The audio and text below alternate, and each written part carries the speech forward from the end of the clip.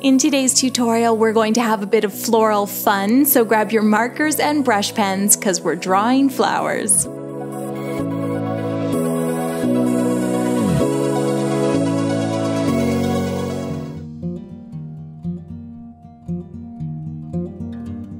Hello, welcome back. My name is Shayda. Today we're going to draw some flowers together, so grab a notebook or journal, grab your markers or brush pens, whatever you have. And the first one we're going to draw is a little peony. We'll start with some orange brush strokes, just a few little oval shapes in a semicircle. Then grab another color, maybe a pink, and we're going to do three long petals in front of that area then maybe a few more brush strokes on the sides, and then we'll do these tiny little nubbins in behind the stamen to make it look like there's other petals back there. Um, and then you can grab a color, maybe a dark green for the stem. You're just going to do these tiny little brush strokes and a curving line for the, uh, for the stem. So a simple little peony in marker. If you're following along and learning to draw today and you feel like you need a little more help, you can grab my floral illustration worksheet. It's available on Patreon. All the bonus content is just a couple bucks a month. Okay, let's do another one together. This is sort of a ranunculus. I start with these little circles, a circle of little dots or little circles. Then in another color, you're going to do these broken curving lines. It's like you're trying to draw a circle around the stamen in the center, but you just can't quite uh, complete the line. There's all this negative space in between, and you just keep going around and around. And uh, then all we need to do once that circle is complete and the flower is as large as you like is add two little leaves. Now let's do this again. So you start with these dots that form a circle, and that's your stamen. Then using another color, you're doing these curving lines, but they don't quite connect to form a full circle.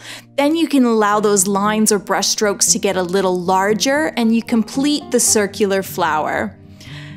Once that's done and you like the shape, all you need to do is draw a couple little oval shaped leaves. You could do two or three, fill them in. I used a nice dark blue, and that's my ranunculus. Next, we're going to do these simple little four or five petal flowers. You can use any size or shape of marker for this. I'm using a chisel tip and then a brush marker, and we're just doing like four scribbly, messy petals. For the stamen in the center, you'll do a grouping of little dots. Then if you like, you can add some leaves by doing a curving stem and pairs of little ovals along it. If you're feeling very extra, you can even add a bit of shading, just use a similar marker color and put some lines near the center.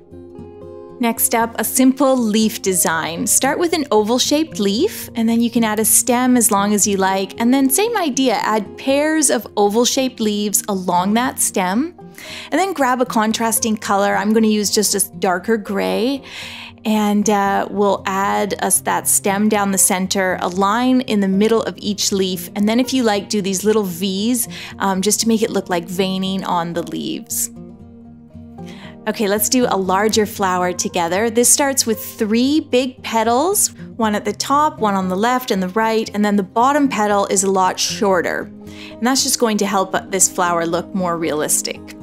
For the stamen, do a messy dark brown circle, and then you're going to do a fanning out or a circle of little lines, but keep the ones at the bottom very short, same idea as the petal, and then go around in that circle and add a whole bunch of little dots. Once the stamen's done, you can add a tiny little stem and maybe some leaves. I'm going to tuck one or two leaves in behind the petals of the flower just to give it a really natural look. You may have noticed my new watch. I just received this from Nordgreen. They're a Danish watch company and they have the most beautifully designed, very slim watches with eco friendly packaging. And they've given me a discount code to share. So if you're in the market for a new watch, use code Campbell to get 20% off for the next three days. Let's do another little leafy design together. This one starts with a curving stem. I'm using a brush pen and I'm just barely allowing that pen to touch the page and I'm doing these tiny little round leaves. The stem sort of breaks in some areas. Some of the leaves are smaller than others. It's all very delicate and very small, and it would look good with any flower illustration. Okay, next we're doing a kind of daisy. So uh, start with a circle for the stamen and then an oval for the other stamen. Then with the circle, we're going to draw a circle around it. For the oval, you'll do an oval around it and keep the stamen low within that circle. Then with another color and brush pen or marker, you're going to fill in that pencil circle. Uh, the first one, all the petals are um, sort of equal length and it's this bright, open, full flower. And for the next one, the front petals are very short and it looks like it's curving up and out and away from the viewer. It's a little more concave. We'll add some shaggy little leaves to finish our flowers. And that's, uh, that's basically how I would approach drawing something like a daisy or aster or chamomile flower. Let's try it again. Start with a circle and an oval. Then for the circle, we're going to do this uh, border of equal length petals all the way around. But for the oval, we're going to do these equal length petals except for the ones along the bottom or the front. They're very short. Add a little curving stem and some tiny little messy shaggy leaves and that's that. And remember, you can grab my worksheets on Patreon if you still need help drawing these. Okay, what should we do for our last one? I'm thinking something really simple. Uh, grab a light color and you're just going to do kind of a messy spiral that fills into a circle, but there's like a little bit of negative space in there. Uh, so it kind of looks like rosebuds or something like that, layers of petals.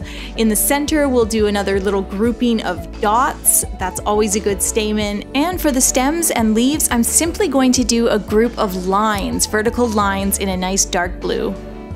Ah, and at this point, take a look at your flowers. Does one need a little extra leaf or some extra detailing? It's fun to layer uh, markers. You can see I'm adding black to the navy leaves and a darker green um, on these lighter green leaves and uh, just play, uh, think of different shapes. Anything can be a flower, anything can be a little berry or leaf. So have fun and just experiment. And friends, please comment below because in this video we did something a little different with our animated flowers, um, trying to help you learn to draw. Was that helpful? Did you like that? Please comment. And for anyone interested, my watch is from Nordgreen. It's super slim and well designed, and you can get 20% off with code Campbell for the next three days. It'll be 15% after that. Thanks for watching. Hit that subscribe button, please, and I will see you soon with a new tutorial.